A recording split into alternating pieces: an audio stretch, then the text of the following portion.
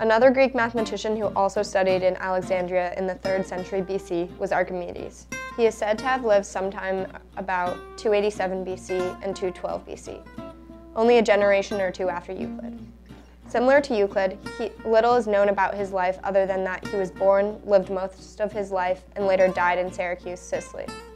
Yet, there are many stories and anecdotes about him and his skill as an engineer. One of the best known stories of Archimedes tells of him helping King Hieron of Syracuse to determine if the crown he commissioned out of pure gold was in fact pure gold, or if the goldsmith had taken some of the gold and replaced it with an equal weight of silver. Archimedes was said to have been in the public bath when he came to realize how to settle the question. After observing the water overflowing out of the tub, he submerged himself. Uh, he realized that the crown was silver and it could replace displace a greater volume of the water than a quantity of gold equal to the weight of the crown. Realizing the solution, it is said that he ran naked through the streets of Syracuse shouting, Eureka, Eureka.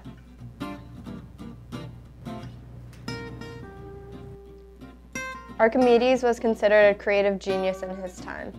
He is best known for his military innovations like siege engines, pulleys, and pumps, and the Archimedes screw, which is still used in parts of the world today. But his real passion was pure mathematics, and unlike Euclid, his treatises included only his new work, and therefore he himself contributed greatly to the advancement of mathematical knowledge in Greece.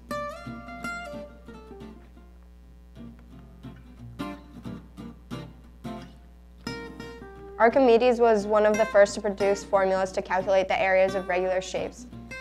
He used a method of describing new shapes by using shapes he had already understood. In this way, he also came up with an estimate for pi. His approximation of pi relies heavily on the result from one of his other theorems. If an angle of a triangle be bisected and the straight line cutting the angle cut the base also, the segment of the base will have the same ratio as the remaining sides of the triangle. And if the segment of the base have the same ratio as the remaining sides of the triangle, the straight line joined from the vertex to the point of the section will bisect the angle of the triangle. The way in which he determined an approximation for pi was based on the fact that the circumference of a circle lies between the perimeter of the inscribed and circumscribed regular polygons of n sides. And as n increases, the difference in the two circumferences from the two perimeters becomes smaller. This kind of approach to a problem later became known as a method of exhaustion, because he would continually exhaust the possibilities until reaching the correct answer.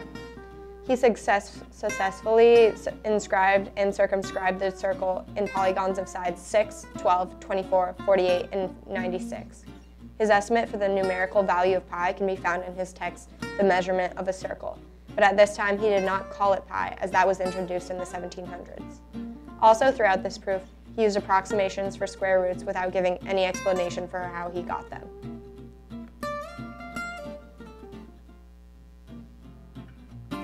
To begin this proof, by simply drawing a circle and marking off any point on the circumference with chords of the length of the radius, you can create six vertices. Then tangents are drawn from the six vertices and another regular hexagon is produced that circumscribes the circle. From the regular hexagon, we can then create a 12-sided polygon by bisecting the arc on the circumscribed circle by each section of the hexagon and using the new additional points and vertices to form a dodecagon. The repetition of this process will eventually yield a 96-sided polygon. If little pn and big pn represent the perimeters of the inscribed and circumscribed regular polygons of n sides, we can then write a a set of bounds for C, the circumference of the circle.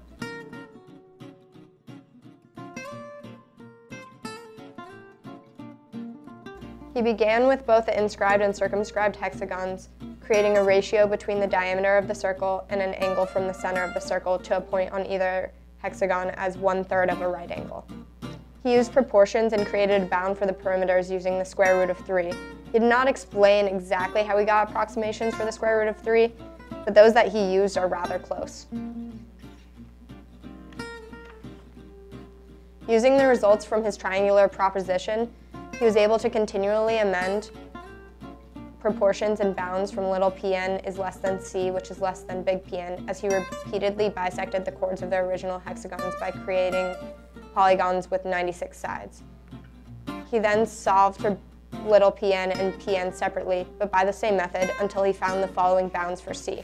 Modernly, you can do the same computation using the harmonic mean of little pn and big Pn as big Pn 2n and the geo geometric mean of little pn and big Pn big P2n as little pn little p2n, and then using recursion relation to compute these means until reaching the 96-sided polygon and arriving at the bounds presented.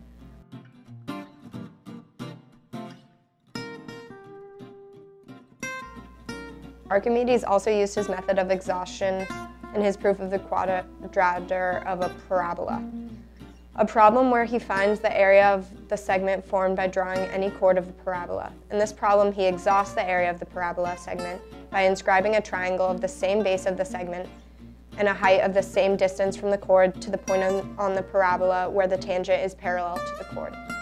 The two sides of the triangle create another parabolic segment that we can repeat this process on, and this process continues. If he designated the area of the original triangle, ABC, as the symbol triangle, he could then create ratios of the areas of the smaller triangle based off of it. You could then say that triangle ADC is equal to 1 8th of the original triangle, and triangle CEB is equal to 1 8th of the original triangle. Adding these two together, you get 1 4th times the original triangle. By repeating the process on the four smaller triangles made from the triangles ADC and CEB, you can see that each of their areas is equal to 1 8th times 1 8th times the original triangle, or 1 over 8 squared times the original triangle. Adding these four little triangles together, we get 1 over 4 squared times the original triangle. We can then continue this process and create a geometric sequence which sum converges to 4 over 3 times the original triangle. But the modern, by the modern for, formula for the converging geometric sequence. At this time, Archimedes, however, did not have the ability to describe its convergence in theory, and instead proved that if the polygons exhausted the parabolic segment created by the first line segment AB, then its area could be neither greater or less than 4 over 3 times the original triangle. This finishes up our video on Archimedes and his contributions to Greek mathematics and is the final video in our short series on Greek math history.